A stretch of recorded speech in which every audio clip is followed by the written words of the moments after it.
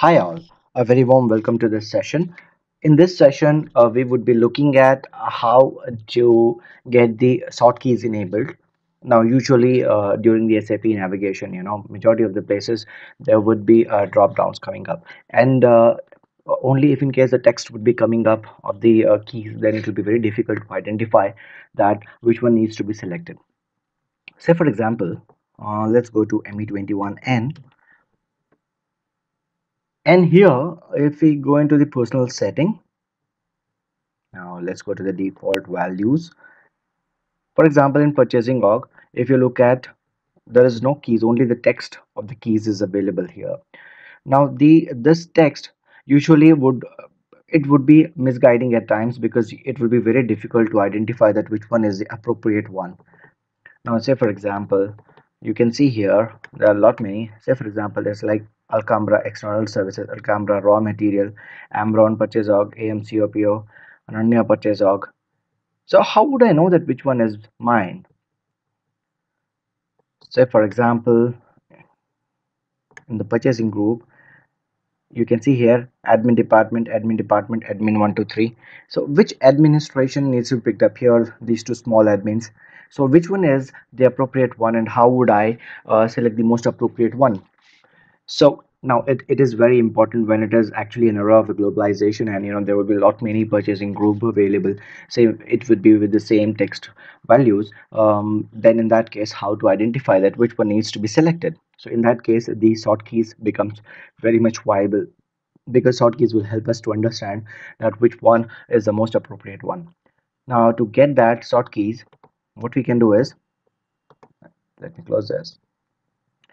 Go to the options and then here uh, we have interaction design. Under interaction design we have visualization and interaction. And here we have show keys within drop down list.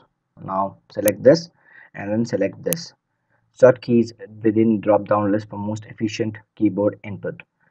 Now if you only select this show keys within the drop down list it will allow it will only uh, make visible the drop down keys. But if in case you will check sort keys also. Sort by the keys within the drop down list. It will even do a sorting within the drop down list also. Now it is very very uh, useful because what happens uh, it will actually segregate each of each one of them alphabetically in such a way that it will be very easy and user friendly to use it. Now i'm saying apply and then okay and then let me go back to the personal setting. Now let me go back to the default values. And now you can see here it has all picked up the values. You can see that 0007 0008 0h0 0h10 0h11 0h12 so all the values they are applicable now. You can see here purchasing group. So all of them they are available. Now if i'm not going to click on the sort by keys you can see that what happens say personal setting again. Default values. You can see here it is picked up the same way. Admin admin admin department admin department admin 123 and all. So here only the keys would be in front of the text values. I mean the way it was created based on the created values automatically it will come up. So if I have to use it is always best advisable to go with the sorting of the keys. But in this case the keys are also available. You can see here along with the text values. So you know now you now know that uh, whether you would like to go with 6 admin or 105 admin. So you have the key. So you know which key belongs to your organization. And accordingly you can pick up that one. So here so if we are going with the sorting of the keys so i'm going with the sorting of the keys now again and then let's go back once again.